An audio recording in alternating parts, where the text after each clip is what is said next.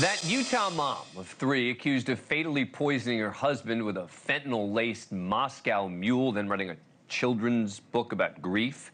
Well, now there are new questions about whether her mom was involved. This is coming from a recently released search warrant.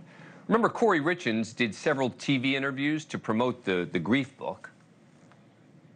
I just watched the struggle that my kids were going through. And I actually, you know, I went on Amazon and Barnes & Noble and trying to find something that we could use to cope at nights. Nights are the hardest, it seems like, for everybody when, you know, dealing with anything. But I just wanted some story to read to my kids at night.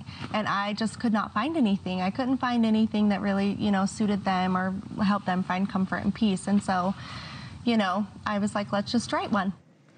But now investigators focusing on the mom, Lisa Darden, and her connection to a former partner's overdose in 2006. It sounds familiar, right? A newly unsealed search warrant. The lead detective on the Richins case revealed, quote, it was discovered that in 2006, Richins' mother, Lisa Darden, was living with an adult female with whom she was having a romantic relationship. In April of that year, her romantic partner died unexpectedly. That individual died from an overdose of oxycodone which she apparently had prescriptions for. The search warrant goes on to say, quote, further investigation showed that Lisa Darden had been named as a beneficiary of her partner's estate a short time before her death. Remember, before Eric's death, Kouri Richins allegedly purchased multiple life insurance policies, apparently without his knowledge, trying to make herself the sole beneficiary. And then after his death, she received about $1.3 million in payouts. Richins' attorney Skye Lazaro says it was a drug overdose like so many others. And, quote, the fact that Ms. Darden was the beneficiary of her romantic partner's life insurance policy is also not unique. It only demonstrates that her circumstances are no different than most families in America. To suggest otherwise is nothing more than a baseless conspiracy theory. The detective, though, involved in the case, thinks there could be a connection. Richins and her mom are close. They communicate daily. Detective Jeff O'Driscoll speculating, quote, based on Lisa Darden's proximity to her partner's suspicious overdose death and a relationship with Kouri, it is possible she was involved in planning and orchestrating Eric's death. Eric's family attorney joined me this week. He also believes it could be more than just a coincidence. Similarities are so remarkable that it's now opened up an investigation into what might be an 18 year old homicide.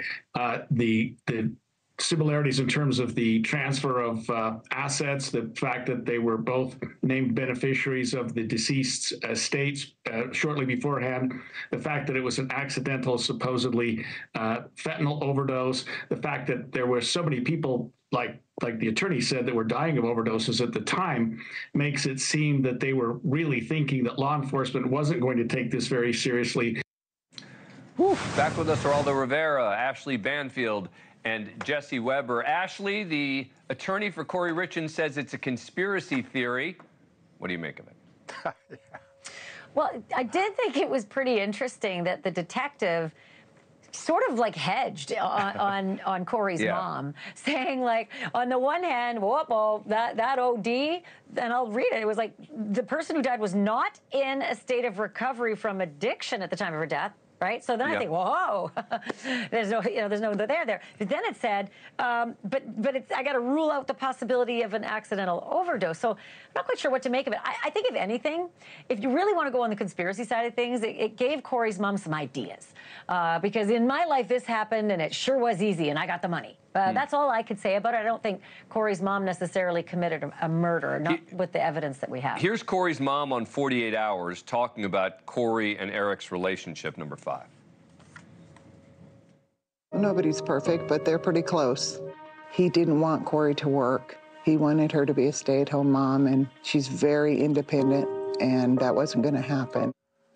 Geraldo, fair to ask questions about the mom?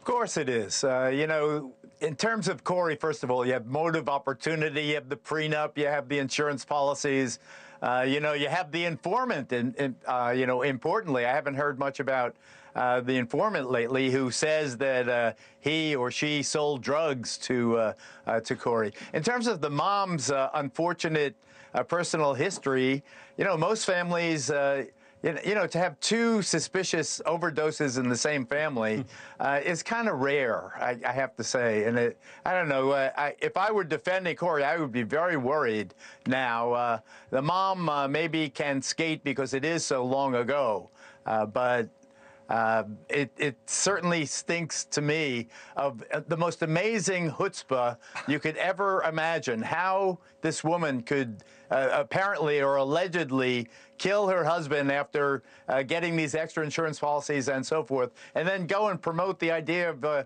uh, you know, the children's grief as a, as a commercial uh, uh, enterprise uh, going going forward. It's just it I, seems amazingly brazen to me that she would make herself so public unless she thought that no one would suspect her because she was, you know, the the face of of grieving.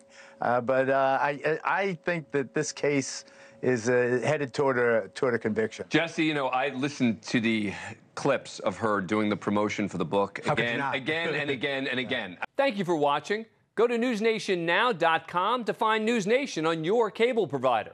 And don't forget to click the red subscribe button below to get more of News Nation's fact driven, unbiased coverage.